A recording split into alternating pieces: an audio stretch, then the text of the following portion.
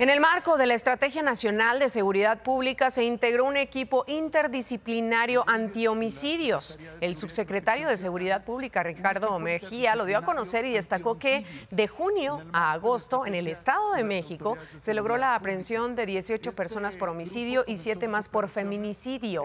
Esto fue gracias al trabajo en conjunto, dijo, de la Coordinación Nacional Antisecuestro y la Fiscalía General de Justicia, de ahí del Estado de México.